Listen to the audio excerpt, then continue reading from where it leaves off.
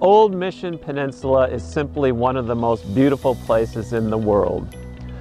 The spectacular views of East and West Grand Traverse Bay, the iconic fruit farms of the globally unique West Michigan Fruit Belt, wonderful opportunities for hikes in the woods at Pyatt Lake or the Pelizzari Natural Area are just some of the things we all love.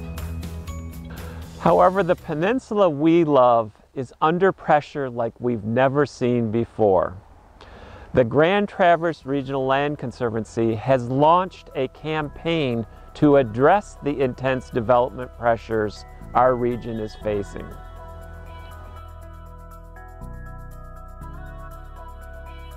With your help, we can forever preserve the unique agricultural heritage and scenic character of our region.